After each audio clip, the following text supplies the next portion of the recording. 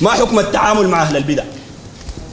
أهل البدع شنو يا أخوانا ديل الناس جاوا بدعة. زي الصوفية إخوان مسلمين سرورية خوارج تكفيريين. تتعامل معهم كيف؟ تتعامل معهم بالبعد منهم تزيح منهم بعيد. شوف الغضب اللي بينزل على الزول يا أخوانا عشان كده في فائدة قبل مش قلنا القصة بتاعت الزول اللي قال للنبي صلى الله عليه وسلم اعدل فإنك لم تعدل.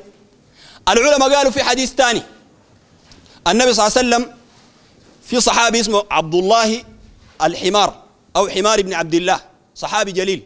كان بيشرب الخمر دي كبيرة ولا ما كبيرة؟ وكان يضحك النبي صلى الله عليه وسلم. فأتي به يوم وقد شرب الخمر فأمر النبي صلى الله عليه وسلم الناس فأقاموا عليه الحد. أدوه؟ حد الخمر. فقال رجل لعنه الله. ما أكثر ما يؤتى به. قال الزول ده ملعون. كل مرة يجيبوه يقوم يشرب في الخمر. قال كده. النبي عليه الصلاة والسلام قال لا تلعنه فإنه يحب الله ورسوله.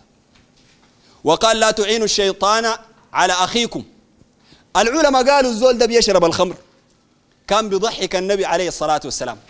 والجبال ذاك في صفته قالوا كان ناتي الجبهة. ها غائر العينين. له خطين أسودين بكاء من خشية الله.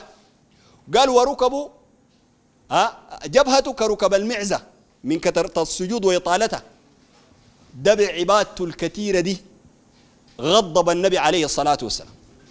عشان كده العلماء قالوا البدعة أشد من شنو؟